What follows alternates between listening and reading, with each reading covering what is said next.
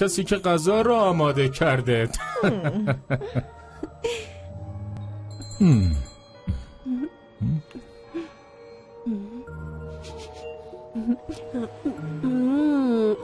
عجب مرغ خوشمزه ایه خیلی گشنت بود داره سسش هم داری بله اینم از قطار حامل سس. کوکو چی چی؟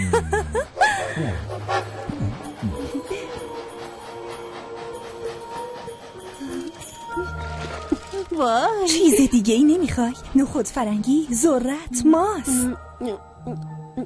فقط خیلی تشنمه. البته. از کدوم؟